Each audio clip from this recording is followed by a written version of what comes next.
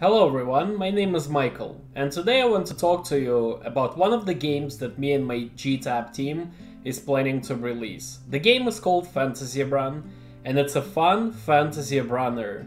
We're gonna release it for both Android and iOS. Just wanted to give you a walk through the game and some of the game decisions that we have made while developing it. Stay tuned and if you like the content, please subscribe to our channel and like the video. Helps us greatly. Thank you so much.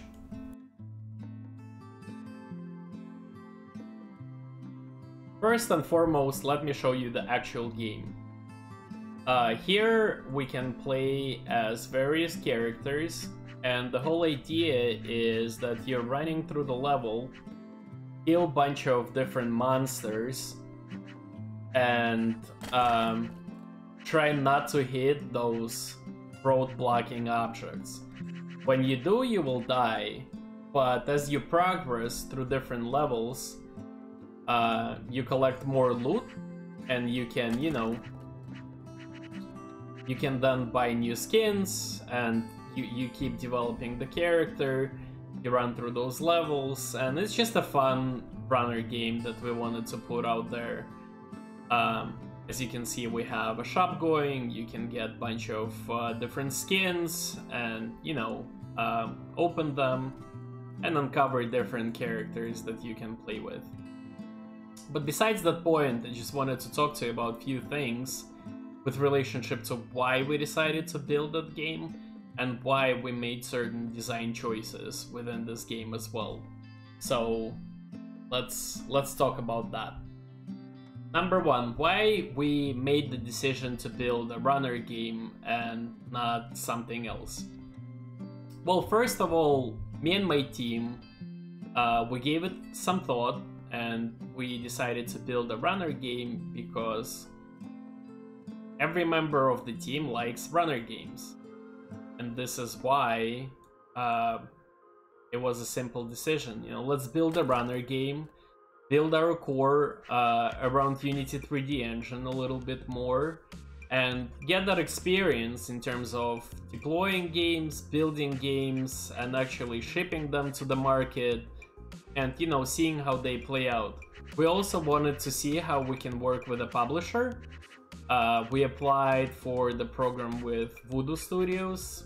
The game didn't do very well in terms of CPI, it was roughly over a dollar for a download, which is not the metrics that publishing uh, companies are looking for.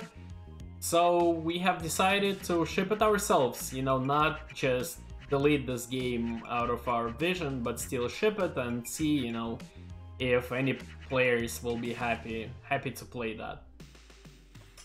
So the next thing is why did we decide to build not just a runner, but the fantasy runner? Well, again, it's something that we really like. We really like games where you uh, can sort of grind and collect certain things, and we decided to kind of create it around various collectibles. Collect collectibles being different characters in this game right now, so that's the that's the game decision that we decided to make. And then also, the main idea uh, for us, I think, was to build something for our portfolio.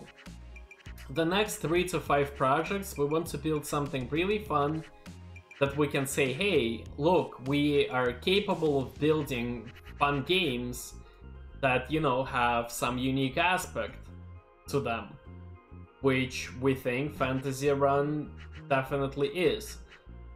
I have not seen the game very similar to that on the market. I might be wrong, but doing some market research, I haven't seen anything quite like that.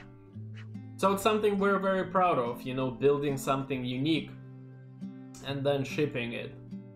And the last thing I wanted to talk to you about is just the process of of making the game, I guess. So for us, uh, for all of our team members, it is important to work on something at the moment that is fairly simplistic, but then on the other side, something that we like.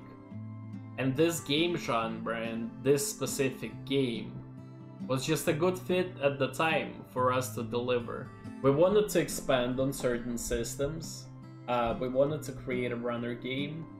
We wanted to create an inventory. We wanted to create a shop, and we wanted to create, you know, other integrations as well.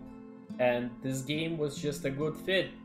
So if you like our content, please don't hesitate to subscribe to our channel. And if you want to give this game a shot when it's out, just ping me and I'll send you the URL. Thank you so much for watching and have a good day.